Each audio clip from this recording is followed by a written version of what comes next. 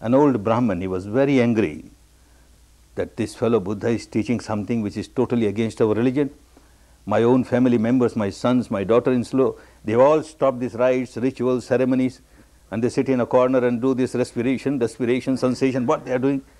He will spoil all our religion.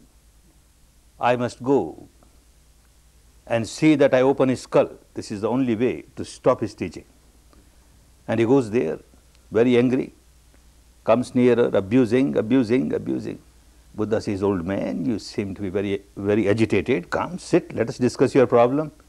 He had made a decision. I won't start discussing with him because he is a very clever person. The moment I start discussing with him, my anger will go away. If my anger goes away, I can't open his skull. I must carry on with my anger.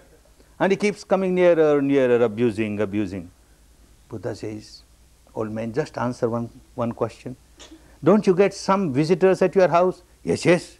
So many visitors come to my house. What are you going to do?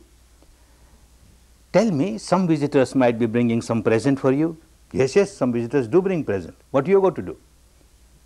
A visitor brings a present to you and say you don't accept this present. What happens? What happens?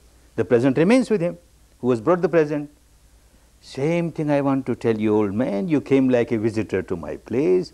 You brought all these presents of your abuses. I have not accepted them. They are with you. Your property, not my property. The old man was a very intelligent person. Only the small veil, curtain of ignorance which did not allow him to understand the truth. This curtain got broken and she, he started understanding. How is it? The whole life people bring presents to us. Present of one abuse, in return we give 10 presents. He brings 10 presents, we give 100 presents. This exchange of presents, you be unhappy, I be unhappy.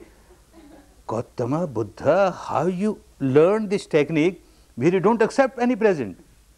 Sit, old man, sit, close your eyes, observe respiration, observe respiration, observe sensation, observe sensation. You must observe yourself.